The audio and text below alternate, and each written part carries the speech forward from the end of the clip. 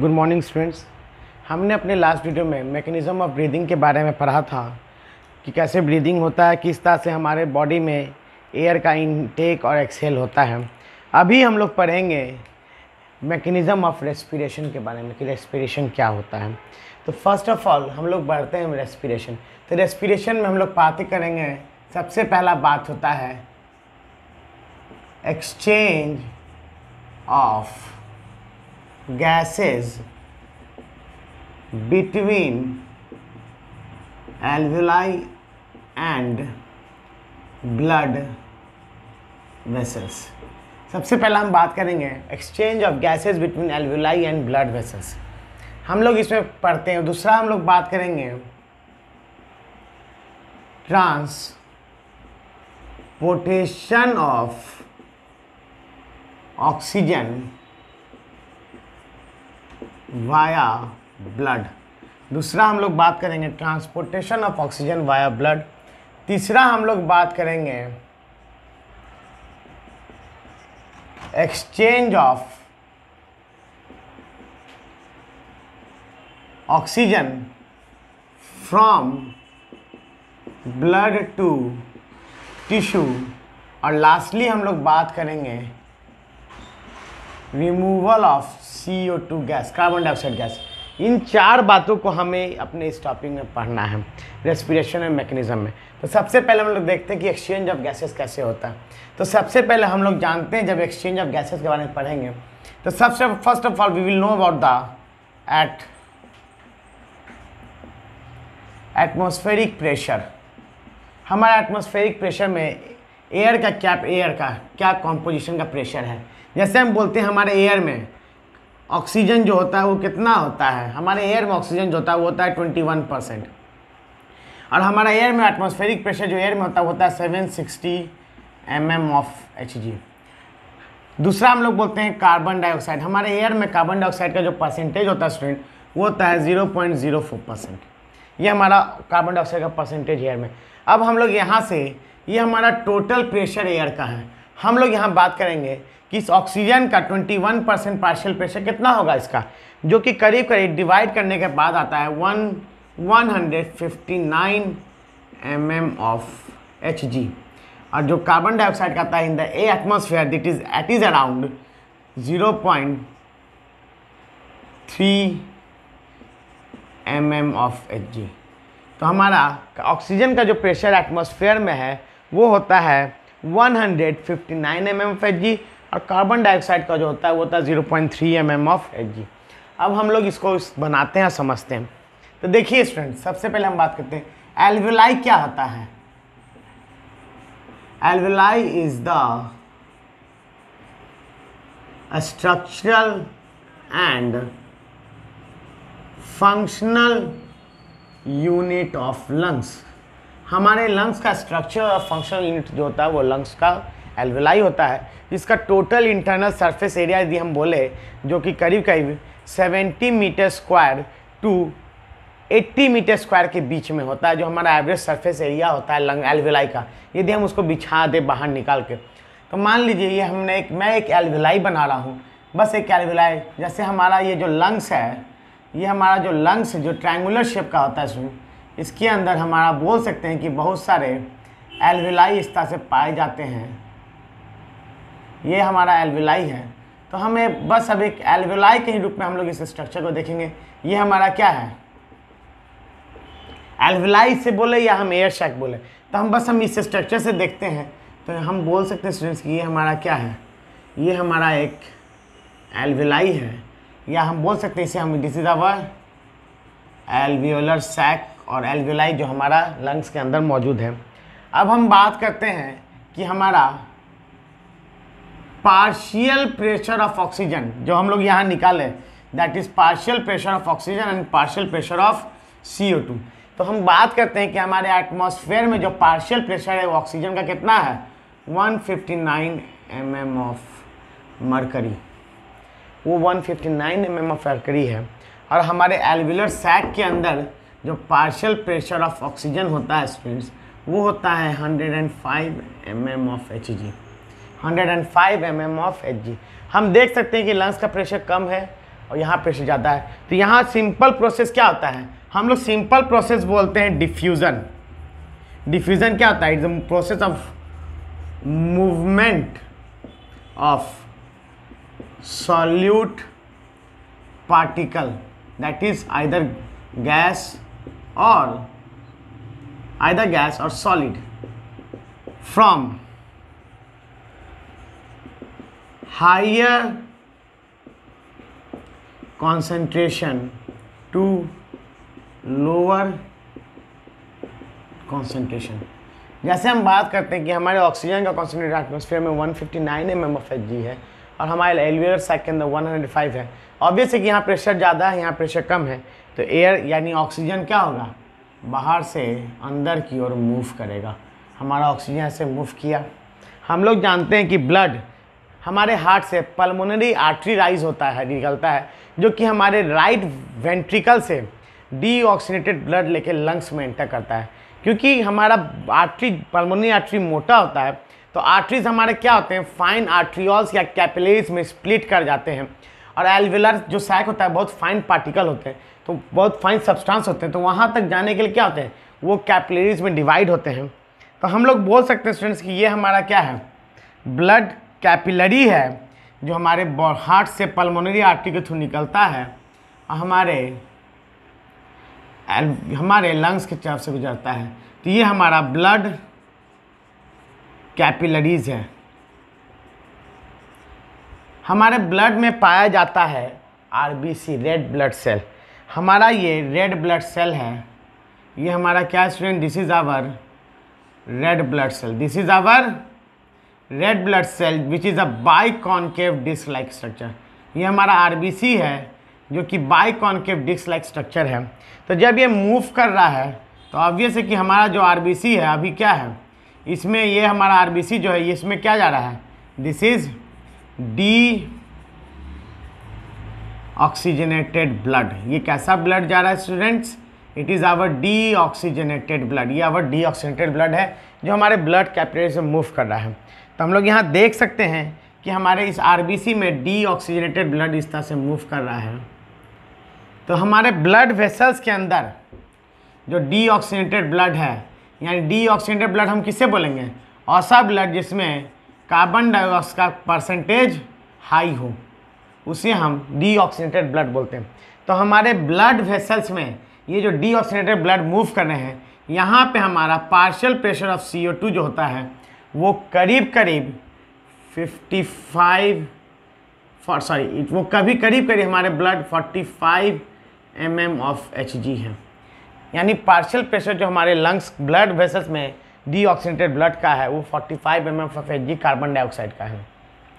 और हमारे एल्विलाई में जो पार्शियल प्रेशर ऑफ़ सी है that is around 40 M M of H G और हमारे एटमॉस्फेयर में जो पार्शियल प्रेशर ऑफ़ सी होता है, वो 0.3 M M of H G है। तो हम लोग यहाँ स्टूडेंट दे सकते हैं कि कार्बन डाइऑक्साइड का प्रेशर बाहर बहुत कम है और लंग्स में ज़्यादा है तो हम लोग क्या बोलेंगे? कार्बन डाइऑक्साइड इस तरह से बाहर जाता है। यानी यहाँ पे क्या हो रहा है? यहाँ सिंपली हमारा प्रोसेस ऑफ़ डिफ्यूज़न हो रहा है। यानी कि ऑक्सीजन जब हमारा डिफ्यूज़ होके हमारे ब्लड वेसल्स या कैपिलरीज में आ रहे हैं तो हम लोग देख सकते हैं कि हमारा जो आरबीसी जो मूव कर रहा है ब्लड वेसल्स में वो क्या हो रहा है। इस तरह से ऑक्सीजनेशन का प्रोसेस हो रहा है और क्या हो रहा है, ये ऑक्सीजनेशन हो रहा है तो क्या हो रहा है, इससे हमारा सी बाहर निकल रहा है। पार्शल प्रेशर से हमारा सी बाहर निकल रहा है और हमारा ये जो आर ब्लड वेसल्स है, इसके अंदर जो हमारा आरबीसी अब ये क्या हो गया है? This is fully oxygenated R तो हमारा आरबीसी में इस तरह से ऑक्सीजनेटेड आर आ गया। अब हम लोग बात करते हैं कि हमारा ऑक्सीजनेटेड ब्लड आरबीसी में आ गया। यानी अब हमारा इस ऑक्सीजनेटेड ब्लड में जो पार्शियल प्रेशर ऑफ़ ऑक्सीजन होता है, वो हो गया 900 95 M M of mercury H G pressure से हम लोग मेजर करते हैं। तो हमारे यहाँ पे प्रेशर ज़्यादा हो गया। अब हमारा ऑक्सीजन अंदर की ओर आया और CO2 हमने देखा कि ऑक्सीजन इन किया और CO2 बाहर एग्जिट किया। तो CO2 बाहर निकल गया। किस प्रोसेस है? सिंपल प्रोसेस ऑफ़ डिफ्यूज़न से। अब ये ब्लड वेसल्स हमारे पूरे बॉडी में सर्कुलेट करते हैं इस तरह से। तो मान लीजिए मैंने बनाया कि हमारे पूरे बॉडी में सर्कुलेट हो रहा है और नीडी टिश्यू और सेल तक जा रहा है। ये हमारा ब्लड वेसल सर्कुलेट हो रहा है। तो ब्लड वेसल्स अब हम बात करते हैं। तो ये पहला था हमारा जो हमने बात की एक्सचेंज ऑफ़ गैसेस की। तो ये हमने बात की ही एक्सचेंज ऑफ़ गैसेस की between alveoli and blood vessels अब हम बात करेंगे, ये हमारा पहला स्टेप था। अब हम दूसरे स्टेप में बात करेंगे students transport of O two transport of O two via blood तो ब्लड में ऐसा क्या चीज़ मौजूद तो ब्लड में हमारे हमारे आरबीसी में क्या पाया जाता है? हेमोग्लोबिन जो हमारा रेस्पायरेटरी पिगमेंट होता है। यही आरबीसी जो रेड ब्लड समाहार सेल है दैट इज़ यूरोथ्रोसाइट ये हम ऑक्सीजन के साथ क्या होता है? इसमें पाया जाता है हीमोग्लोबिन जिसे हम बोलते हैं एच जिसे हम बोलते हैं एच ये हीमोग्लोबिन हमारे ऑक्सीजन से बाइंड होता है, ये हीमोग्लोबिन हमारे ऑक्सीजन से बाइंड होता है और क्या कहलाता है? That is known as oxyhaemoglobin तो ये हमारा अब क्या होगा? ऑक्सीनेटेड आरबीसी को हम लोग क्या बोलते हैं? ऑक्सी हेमोग्लोबिन अब हमारा ब्लड ऑक्सीजनेटेड आरबीसी हो गया। जो कि ऑक्सीडेटेड हीमोग्लोबिन के रूप में हमारे बॉडी में क्या हो रहा है स्टूडेंट्स सर्कुलेट कर रहा है। ये हमारे बॉडी में ऑक्सीडेटेड हीमोग्लोबिन के रूप में सर्कुलेट कर रहा है। अब जब ये सर्कुलेट कर रहा है तो हमें तीसरा टॉपिक है exchange of oxygen via blood to tissue तो मान लीजिए, ये हमारा डिज़ायर्ड टिश्यू है। ये हमारा क्या स्टूडेंट डिज़ायर्ड टिश्यू है, जो हमारे सेल के सेल में अंदर बॉडी में पाया जा रहा है। ये हमारा डिज़ायर्ड टिश्यू है। तो हम लोग जानते हैं कि ऑक्सीजनेशन इस तरह तो इसको हम एक बड़ा करके बताते हैं। मान लीजिए हमारा एक डिज़ायर्ड टिश्यू है, जहाँ हमारा आगे का प्रोसेस होना है। तो हमने देखा कि हमारा जो ब्लड वेसल्स है, जिसमें हम लोग क्या ले जा रहे हैं? ऑक्सीजनेटेड हीमोग्लोबिन का जा रहा है, जिसमें ऑक्सीजन ज़्यादा है। अब हम इस डिज़ायर्ड टिश्यू के अंदर जो पार्शियल प्रेशर ऑफ़ ऑक्सीजन होगा टिश्यू के अंदर वो करीब करीब कितना होता है? पार्शियल प्रेशर ऑफ़ ऑक्सीजन जो होता है, वो टिश्यू के अंदर जो हमारा है, हम लोग बोलते हैं, इस टिश्यू में हमारा पार्शियल प्रेशर ऑफ़ ऑक्सीजन कितना होता है? 90 M M of H G ninety M M of H G. और यहाँ 95 है। ऑब्वियस है कि यहाँ हायर कॉन्सेंट्रेशन है, यहाँ लोअर कॉन्सेंट्रेशन है टिश्यू में। तो क्या होगा? यहाँ से ऑक्सीजन यहाँ रिलीज़ होगा। यहाँ से ऑक्सीजन हमारा यहाँ टिश्यू में रिलीज़ होगा। अब टिश्यू या सेल की हम बात करें तो यहाँ पे हमारा सेलुलर रेस्पिरेशन होता है। हम लोग यहाँ क्या जानते हैं स्टूडेंट? जब यहाँ से ये अपना ऑक्सीजनेशन देता गया तो ऑब्वियस है कि हमारे इसमें ऑक्सीजन का कमी होने लगा। अब हीमोग्लोबिन में। अब हमारे हीमोग्लोबिन में क्या है? ऑक्सीजन मॉलिक्यूल कम है, क्योंकि इसने क्या किया? बहुत सारे ऑक्सीजन को ट्रांसपोर्ट करके दे दिया। तो हमारा यहाँ सबसे पहला प्रोसेस क्या होता है? हमारा सेल में पाया जाता है स्टूडेंट्स साइटोप्लाज्म क्या बोलते हैं हम लोग साइटोप्लाज्म तो साइटोप्लाज्म में हमारा क्या है? ग्लूकोज मौजूद है। ग्लूकोज इसमें ऑक्सीजनेशन प्रोसेस होगा और क्या बनेगा? ये क्या बनेगा? इसे हम बोलते हैं पायरुवेट बनेगा। और यही पायरुवेट कहाँ बनता है? जो हमने बात की थी ग्लाइकोलाइसिस में, अपने पिछले वीडियो में, कि पायरुवेट बना और यही पायरुवेट कहाँ एंटर करता है students this pyruvate enter our mitochondria. ये कहाँ एंटर करता है? हमारे माइटोकॉन्ड्रिया में, जो कि फर्दर ऑक्सीजन के प्रेजेंस में क्या हो जाता है स्टूडेंट्स हमारे बॉडी में ब्लड हमारे इसमें टिश्यू में सेलुलर रेस्पिरेशन में पायरुवेट ब्रेक करता है carbon dioxide gas plus H two O plus A T P हमें ए टी पी मिल गया करेंसी ऑफ़ सेल अब आप देख सकते हैं स्टूडेंट कि हमारे टिश्यू के अंदर क्या हो रहा है? C O two gas evolve हो रहा है या सी टू गैस बन रहा है। यही सी ओ टू हमारा जो ऑक्सीडेशन हुआ, अब ये सी ओ टू के कारण अब हमारे टिश्यू के अंदर पार्शियल प्रेशर ऑफ़ जो सी ओ टू होगा, वो करीब करीब 55 फाइव एम ऑफ़ एच है। यानी टिश्यू के अंदर partial pressure of carbon dioxide 55 five M of H होता है। हमारे, क्योंकि हमारे ब्लड से यहाँ ऑक्सीजन निकल गया है, अब हमारे इस ब्लड में पार्शियल प्रेशर ऑफ़ सी जो रहेगा, जो कि करीब करीब होता है 50 एम एम ऑफ़ एच तो हम देख सकते हैं स्टूडेंट कि टिश्यू के अंदर CO2 का लेवल ज़्यादा है ब्लड वेसल्स में CO2 का लेवल कम है तो CO2 क्या होगा? हमारा यहाँ से बाहर की ओर आएगा। और ये CO2 क्या होगा? हमारे कुछ हीमोग्लोबिन से बाइंड होगा आरबीसी से। जिसे हम क्या बोलते हैं? कार्बामिनो हीमोग्लोबिन क्या बोलते हैं? अब हमारा CO2 इससे बाइंड हो गया। और ये हमारा CO2 जैसे ही बाइंड हो गया तो ये हमारा कहलाता है।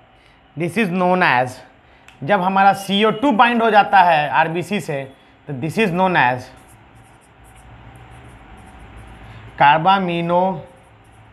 carbaminohaemoglobin जो हमारे ब्लड से 23 परसेंट सी हमारे बॉडी से रिलीज़ करता है। अब ये देख सकते हैं सर्कुलेट होके जा रहा है कार्बो कार्बामिनो हीमोग्लोबिन आप देख सकते हैं कि हमारे एल्वेलाई में एल्वेलाई के अंदर जो हमारा प्रेशर है, वो कितना है? एल्वेलाई के अंदर वो प्रेशर कितना है स्टूडेंट्स आप देख सकते हैं एल्वेलाई के अंदर प्रेशर 40 है, अब ब्लड वेसल्स में हमारा 50 है। तो अभी क्या हो रहा है? हायर से लो प्रेशर की ओर मूव किया? ये क्या हो गया? हमारा partial C O two cell से बाहर रिलीज़ हो गया। तो इस तरह से हमारे बॉडी से सी ओ टू बाहर रिलीज़ होता है। अब जो सी ओ टू रिलीज़ होता है हमारे बॉडी से, ये हमारे तीन फॉर्म में होता है। Number one through dissolve plasma dissolve in plasma जो कि हमारे बॉडी से सेवन परसेंट होता है। दूसरा, हमारा हीमोग्लोबिन से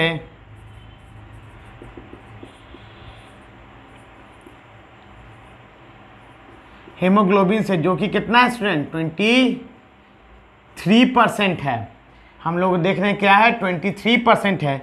और तीसरा और लास्टली ये हमारे ब्लड से बाई